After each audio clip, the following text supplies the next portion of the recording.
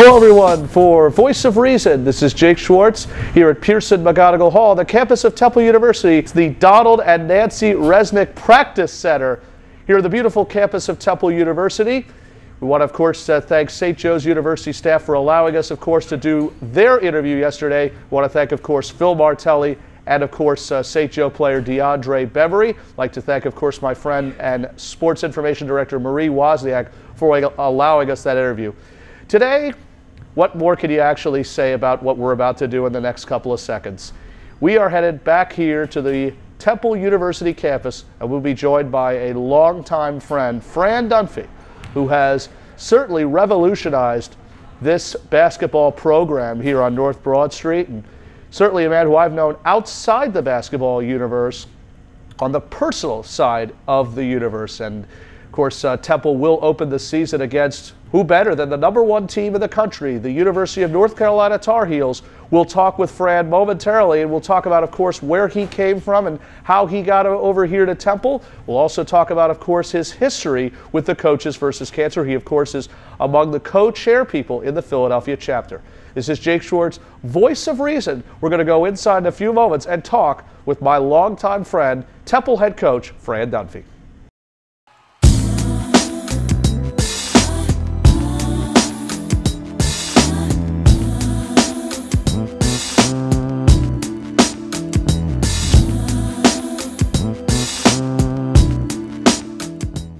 Hello, everyone, for Voice of Reason. This is Jake Schwartz from Pearson McGonigle Hall at the Temple University campus. We've never had this guy, who, of course, is a personal friend that I've had the privilege of going up and down the basketball road with, but not just the basketball road, but the personal side of the road with Fran Dunphy. It is so good to see you, as always. Welcome to the Voice of Reason. Happy to be here, Jake. I, I know, I, I know you are. To be on the Voice of Reason. it, it, it, really is such a thrill uh, to see you. Um, obviously, of course, uh, you know that you and I know each other extremely well. I remember, of course, when I was a kid, uh, I went to Cabrini College, and I went to this camp that was run by a good friend of yours, Joe Weber, who actually went to high school with my father at Haverford High.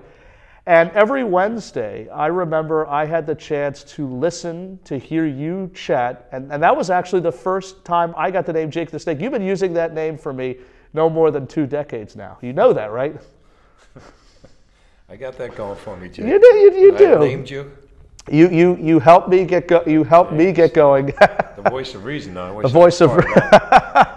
that's pretty good. Well, obviously, of course, uh, I know your history. I know where you came out of. You're a Philadelphia guy, just like myself. Uh, you want to rewind? Tell everybody, of course, out here in the internet world uh, where you started. Well, I went to high school at Malvern Prep. Uh, I went to LaSalle College back in the day. Spent 18 months in the United States Army. Uh, came out and hung around for a couple years and then got a chance to be a high school basketball coach at my alma mater, Malvern Prep. And then I got a chance to be at my other alma mater, LaSalle College then, and it was shortly thereafter going to be a university. And then I left uh, LaSalle University to go to American University. You worked with Gary Williams, I by the way, for and for uh, United States Army. You were with uh, Dan Doherty, who, of course, has had great tradition uh, here in Philadelphia, coaching some of the great uh, basketball players that have graced our presence from obviously Wayne Ellington and Gerald Henderson. But before then, your uh, student uh, at, we'll talk about in a few minutes, uh, Jerome Allen. All right, let me see if I can recap again.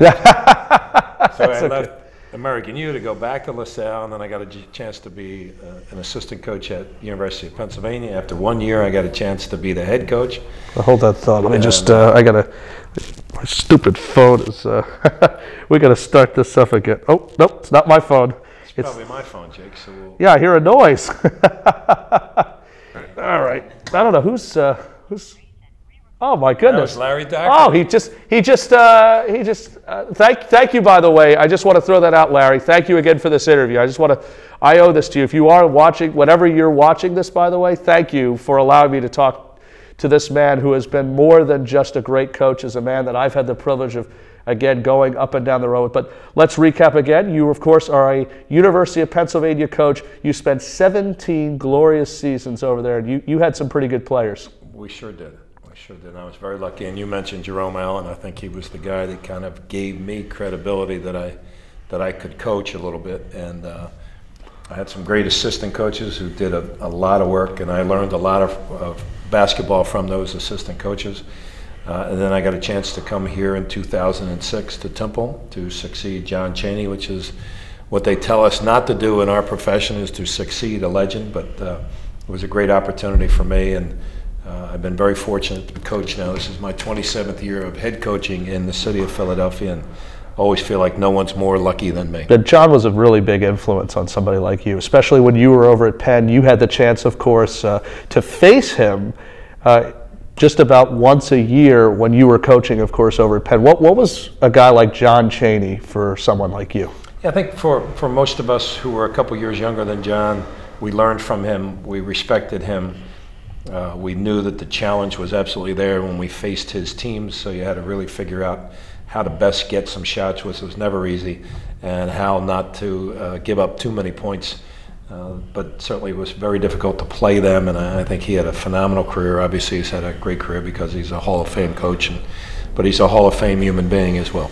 This school itself, of course, is one of the most well-respected schools in the country, and you came off, of course, a great season last year, of course, uh, winning uh, American Coach of the Year, and we congratulate you, of course, on that. And uh, more importantly, of course, uh, it just seems like each year, um, you know, students get really excited, of course, around this time of the year because uh, your school, of course, uh, has produced some great players. You've produced great players yourself, and you've also produced great coaches. One of whom, by the way, I believe, is now the uh, head coach at Penn, and that's, of course, Steve Donahue. You've also had, of course, Fran O'Hanlon. He's now over at Lafayette. So you've been coaching probably between assistant head coaching over 41 years. I guess what has been the best part about being a coach in the Philadelphia area and also, of course, being on the road when you were coaching with Gary Williams, I believe, at American University, a Hall of Famer as well? Indeed.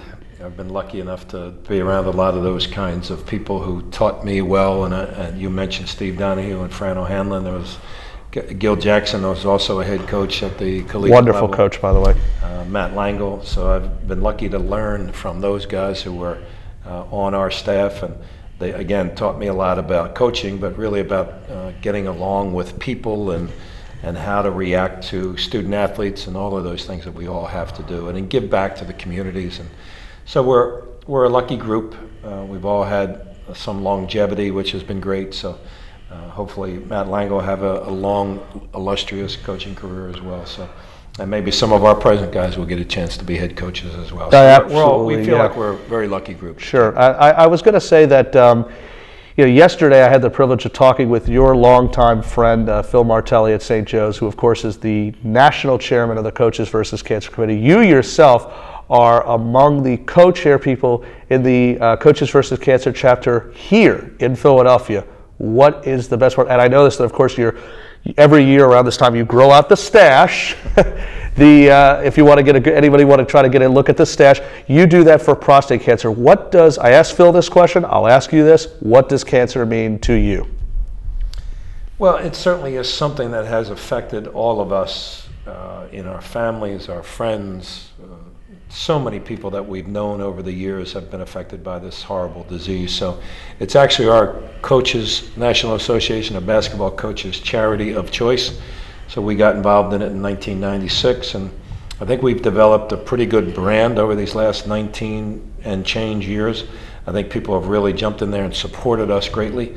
And uh, so we, we feel very, very fortunate to be a part of this great charity that's out there. And our attitudes are that we've done good work but we have to do more because every day we're still having people that are affected by this disease. I do grow the mustache every November. Mm-hmm. Uh, it looks really bad now. No, it looks good on you. I, I, I really it. It'll like look worse in another couple of weeks, so I'll, I'll, be happy to, to uh, get rid of it. But I think the, it's a simple enough, small enough thing to do to tell everybody that uh, uh, I'm thinking about those people that are affected by this disease. Yeah, I definitely mentioned uh, to Phil yesterday, and I, I, remember Phil kind of saying something about how we really want to uh, not just get rid of, uh, I guess, uh, watch cancer go, but just to pr- pretty much crush it, get it away for good. I refer to it actually to as, uh, if I had to ask you this, would you be okay with cancer being like a hurricane, sort of just drifting out to sea instead of just staying on land, basically it just going away for good, just kind of crushing it?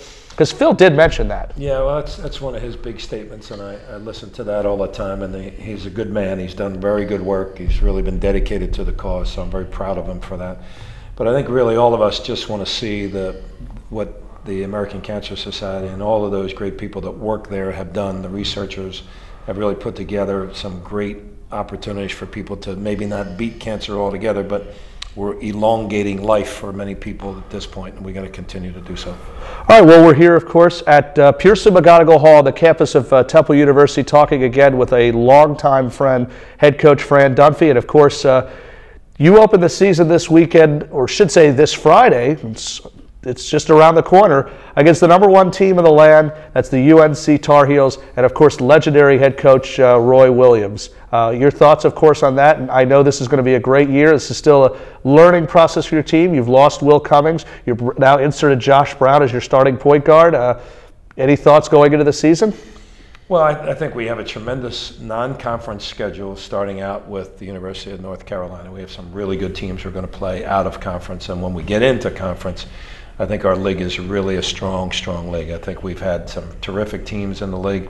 I think we, even the bottom half of the league is now getting better. So uh, when we play these 18 games, we would be challenged greatly each and every night out.